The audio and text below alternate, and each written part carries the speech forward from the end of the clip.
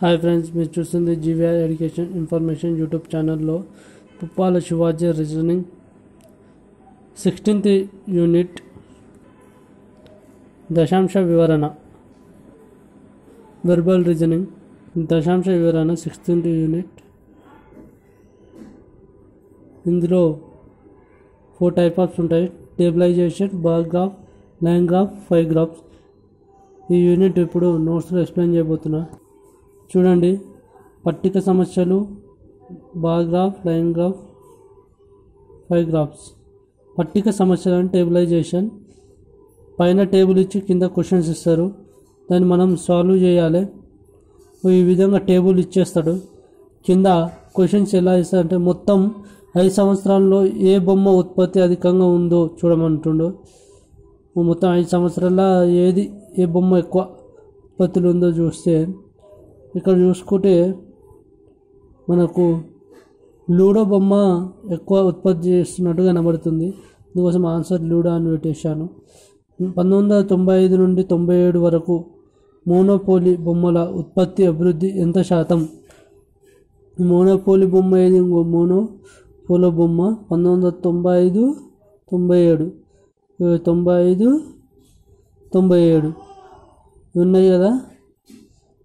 ఎంత శాతం అభివృద్ధి ఎంత ఉత్పత్తి అభివృద్ధి ఎంత శాతం అంటే నూట ఇరవై ఐదు మైనస్ నూట ఐదు బై నూట ఐదు ఇంటూ హండ్రెడ్ చేస్తే twenty five one not five into hundred వస్తుంది.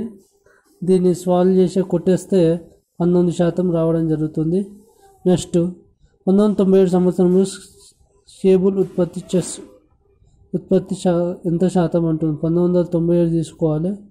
చెస్ చెస్ చూసుకోవాలి. తొంభై ఏళ్ళు chess one twenty. One twenty by one sixty into hundred చేస్తే మనకు సెవెంటీ ఫైవ్ పర్సెంటేజ్ రావడం జరుగుతుంది. వన్ సిక్స్టీ ఏంటంటే స్కేబుల్ స్కేబుల్ చెస్ బై స్కేబుల్ వేసినాం అనమాట నెక్స్ట్ ఏ రకమైన బొమ్మల తయారీలో ప్రతి సంవత్సరం స్పష్టంగా ఒకే రకం పెరుగుదల ఉందంటే మోనోఫోలో. నెక్స్ట్ సెకండ్ కమ్మెరేఖ చిత్రాలు. కమ్మ బార్ గ్రాఫ్. బార్ గ్రాఫ్ అంటే బార్ బార్ ఎట్లా వేస్తాం సేమ్ ఆ విధంగానే ఇస్తారు. కింద క్వశ్చన్స్ ఇవ్వడం జరుగుతుంది. పైన ఇచ్చిన కమ్మిరేఖ చిత్రం ప్రకారం శ్వేత విప్లవం అధికంగా విజయవంతమైన దేశం ఏది అని అంటుండు. శ్వేత విప్లవం.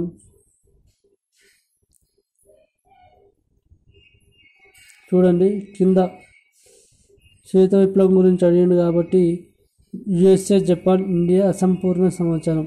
ఇక మన శ్వేత విప్లవం అనేదే కనబడట్లేదు కాబట్టి అది అసంపూర్ణ సమాచారం. ఇలాంటి క్వశ్చన్స్ కూడా అడుగుతాడు. ఇలా చేయాలి. పాల ఉత్పత్తిలో ఒక సంపూర్ణ ద్వితీయ స్థానంలో ఉన్న దేశం. ద్వితీయ స్థానంలో ఏంది? ఓ ఇదేం పెద్ద ఫస్ట్ నెక్స్ట్ ఇదే అవుతుంది ఏది? యుఎస్సి ఆన్సర్ ఇది యుఎస్ఏ. ఫ్రాన్స్ న్యూజిలాండ్ మధ్య పాల ఉత్పత్తి ఒక సంవత్సరం గల నిష్పత్తి.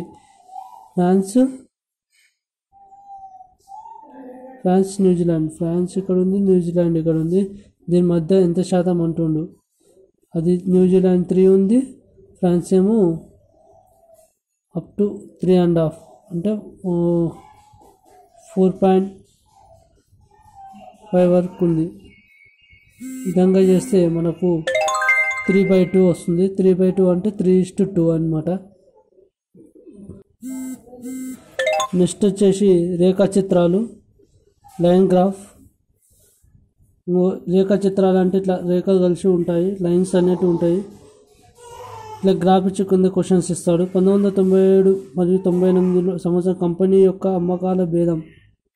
తొంభై ఏడు తొంభై ఎనిమిది చూసుకోవాలి. తొంభై ఏడు తొంభై ఎనిమిది చూసుకుంటే మనకు ఒకటి సిక్స్టీ ఉంది ఒకటి ఫార్టీ ఫైవ్ భేదం అన్నాడు కాబట్టి మైనస్ చేస్తే పదిహేను కోట్లు. అత్యల్ప అత్యధిక అమ్మకాల మధ్య గల శాతం అని అంటే ఎక్కువ తక్కువ ఏది ఉంది? తొంభై ఐదు. టూ థౌజండ్ వన్ తొంభై ఐదు ఉంది. నెక్స్ట్ వచ్చేసి తక్కువ నైన్టీన్ నైంటీ సిక్స్లో ట్వంటీ ఉంది. Ninety five minus twenty by twenty into hundred వేస్తే thirty seven point five percentage రావడం కంపెనీ యొక్క సరాసరి అమ్మకం విలువ సరాసరి అంటే మొత్తం అవి ఎంత ఉన్నాయి దాన్ని బట్టి ఒక thirty twenty sixty forty five sixty eighty ninety five total seven ఉన్నాయి. బై సెవెన్ వేస్తే త్రీ నైంటీ బై సెవెన్ వస్తుంది. దాన్ని కొట్టివేస్తే fifty five point seven crores అనమాట మొత్తం సరాసరి. సంవత్సరంలో కంపెనీ యొక్క అమ్మకం శాతం పెరుగుదల గత సంవత్సరం పోలిస్తే కనిష్టం ఎంత ఉందంటే కనిష్టం అంటే ఎక్కువ అనమాట రెండు వేల ఒకటిలో ఎక్కువ ఉండడం జరుగుతుంది. నెక్స్ట్ మోడల్ వచ్చేసి ఫైవ్ గ్రాఫ్. ఫైవ్ గ్రాఫ్ అంటే ఈ విధంగా ఉండడం జరుగుతుంది. ఒక పుస్తకం తయారీ వివిధ వస్తువులపై ఖర్చుల యొక్క శాతం కింద ఇవ్వబడి ఉంది. ఇలా ఇవ్వడం జరుగుతుంది. గ్రాఫ్ ఇవ్వ- ఇవ్వడం జరుగుతుంది. కింద క్వశ్చన్స్ ఇవ్వడం జరుగుతుంది. పుస్తకం కత్తిరించే బెండ్ చేసే ఖర్చు పేపర్ ఖరీదు ఎంత శాతం అని అంటుండు. పుస్తకం కత్తిరించిన బెండు. పుస్తకం కత్ కత్తిరించింది బెండు. ఇక్కడ ఉంది ఇక్కడ ఉంది ఫిఫ్టీన్ పర్సెంటేజ్ ఓకేనా? పేపర్ ఖరీదు. పేపర్ ఖరీదు పైన thirty five fifty by fifteen by thirty five into hundred చేస్తే forty two point eight five రావడం జరుగుతుంది. అంటే ఇక్కడ లేదు కదా అని ఆశ్చర్యపోవాల్సిన అవసరం లేదు. Forty two point eight five అంటే అప్ టు ఫార్టీ త్రీ అనమాట ఆన్సర్ ఈజ్ ఫార్టీ త్రీ ప్రకటన సంబంధించిన సెక్టార్ కోణం కంటే రుసుము సూచించిన సెక్టార్ కోణం ఎంత అంటుండు? కోణం అని అడుగుతుండు. అంటే ఇక్కడ చూడండి టోటల్ సెక్టార్ కోణం ప్రకటన సంబంధించి ప్రకటన తీసుకోవాలి. Ten percentage. నెక్స్ట్ వచ్చేసి రుసుము సంబంధించి రుసుము రుసుము సంబంధించింది ఎంత ఉంది ఇక్కడ చూసుకోండి. హండ్రెడ్లో సెవెన్ పర్సెంటేజ్ ఉంటే మనకు త్రీ సిక్స్టీలో ఎంత పర్సెంటేజ్? కోణం అనేది కాబట్టి త్రీ సిక్స్టీ ఓకేనా? ఈ హండ్రెడ్లో seven one one two three four five six seven మొత్తం ఏడు ఉన్నాయి కదా. ఏడు కోణాలు ఉన్నాయి. ఏడు ఏడు కోణాలు ఉన్నాయి. ఏడు కోణాల్లో సెవెన్ ఉన్నాయి కాబట్టి కోణాలు హండ్రెడ్లో సెవెన్ అనుకుంటే త్రీ సిక్స్టీలో ఎంత? Three sixty by hundred into seven చేస్తే twenty five point two degrees అంటే సి ఆన్సర్ రావడం జరుగుతుంది. ముద్రణ ఖర్చులు ముప్పై వేల ఆరు వందలు అయినప్పుడు దాని చెల్లింపు దాని రాయల్టీ రుసుము. అంటే దాని రాయల్టీ విలువ కనుగొను లెక్క ప్రకారం ఇవ్వబడింది. Eighteen point seventeen equal to ముప్పై వేల ఆరు వందలు. సెవెంటీన్ ఇంటూ ముప్పై వేల ఆరు వందలు బై పద్దెనిమిది శాతం. చేస్తే ఇరవై ఎనిమిది వేల తొమ్మిది వందలు రావడం జరిగింది ఈ విధంగా ఉంటుంది ఫ్రెండ్స్. మీరు